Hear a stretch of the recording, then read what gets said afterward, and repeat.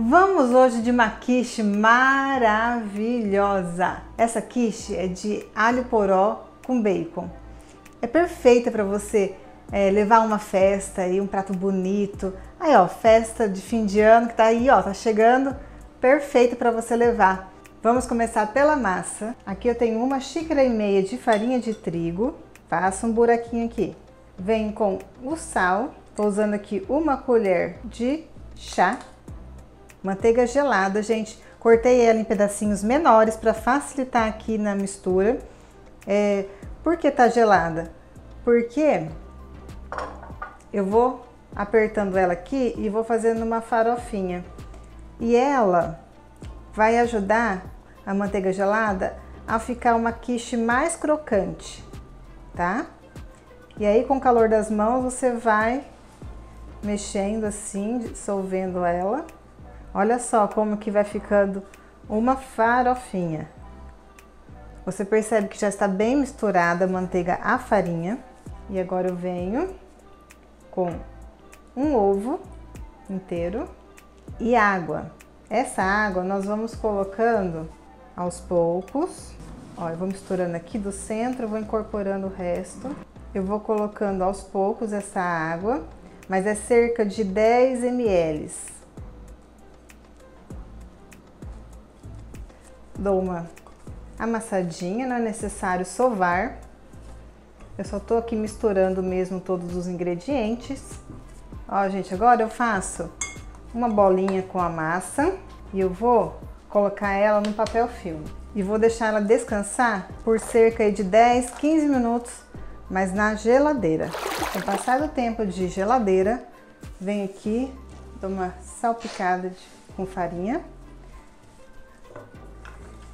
E eu vou abrir essa massa aqui do tamanho um pouco maior, né, dessa minha é, forma. Parece que não vai dar, gente, mas dá, hein? Eu só meio que abri um pouco o rolo para dar uma uniformizada na massa, tá? Deixar ela, tentar deixar da mesma espessura por ela toda. E aqui eu vou, tenho uma forma de fundo removível, ela não é de quiche, né? É uma forma comum aí de, de fundo removível.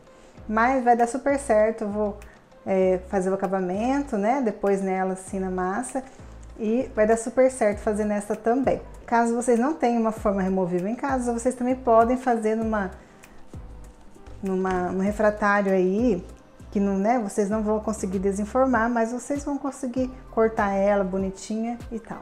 Então eu trago ela aqui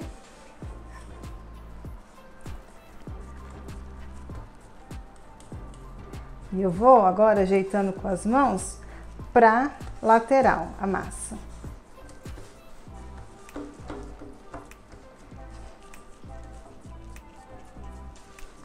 Eu não vou deixar tão fina aqui, ó, no acabamento aqui em cima, na bordinha, porque para não acontecer de na hora de assar, ela não queimar, tá? Olha só, perceba que tá irregular, né? As bordinhas, então agora eu venho eu vou deixar ela retinha. Vou tirando aqui essa rebarbinha e vou deixar ela toda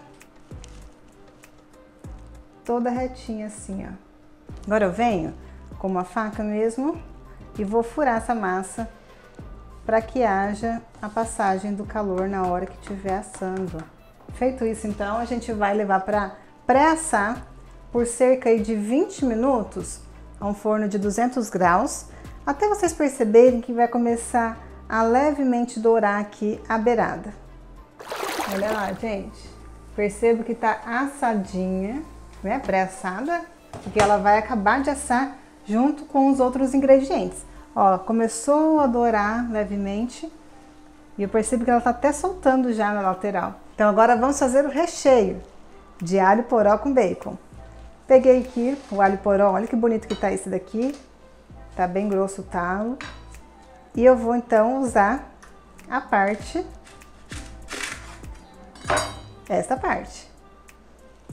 Essa daqui a gente pode usar em caldos.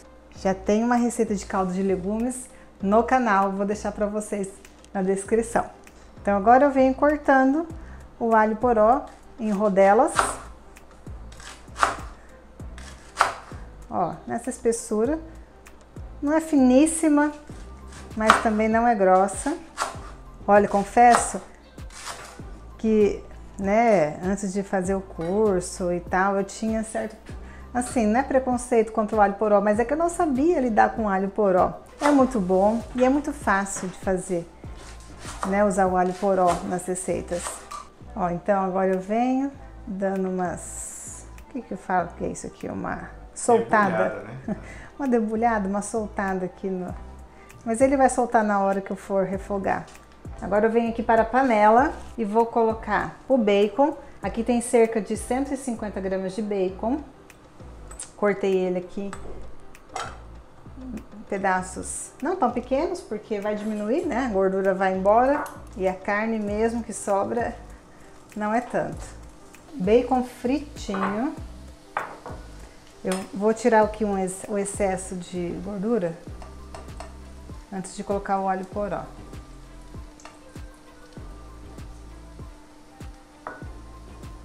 Venho aqui com o alho poró.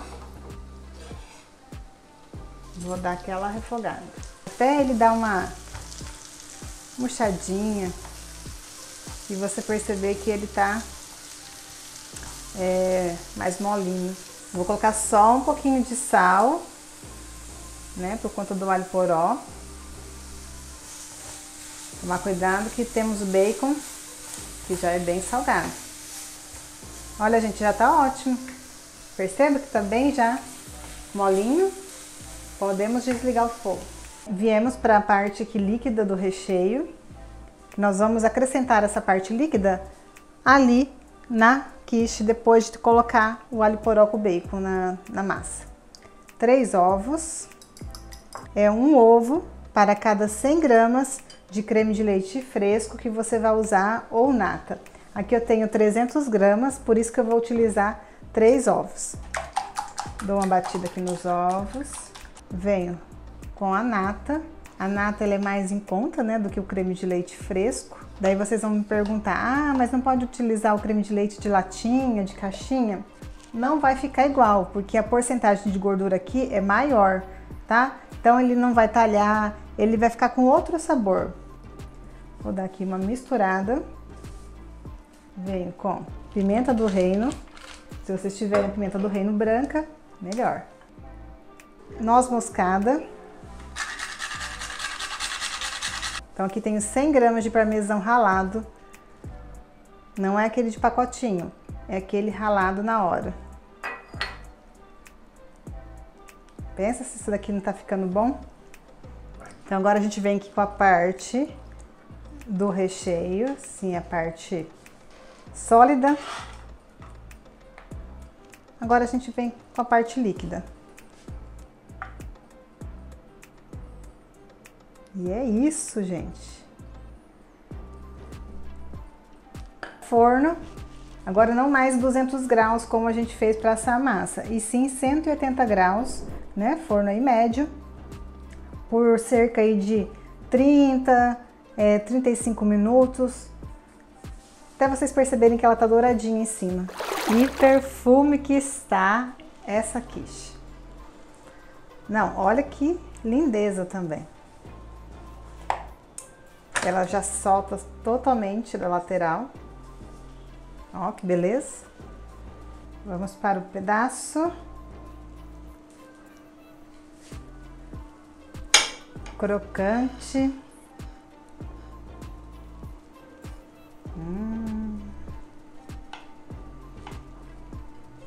Olha isso! Perfeição. Nossa, e o perfume, né, amor? Nossa, tá muito, né? Esse é seu. Olha que bonita por dentro. Vamos lá, gente. Crocante, massa crocante. Nossa, dentro tá uma cremosidade. Hum. Essa quiche não é maravilhosa, ela é muito mais que maravilhosa. Perfeita. Quer um pedacinho, amor? Quero. Uau, essa é top. gente, façam, deixem nos comentários para mim. E ó, perfeito para levar mesmo em um jantar, né? As pessoas vão amar essa Café receita. Da tarde, Também, né? também. Olha, faça aí, leve, que vai ser sucesso. Então, um beijão da Dani. E até a próxima receita. Ah, se inscreva no canal se você ainda não é inscrito. Ativa lá o sininho para você ser notificado aí das receitas que saem aqui no canal, tá bom? Curta, curta, curta, curta, dê muitos likes nessa receita, tá? Beijão, beijão. Tchau.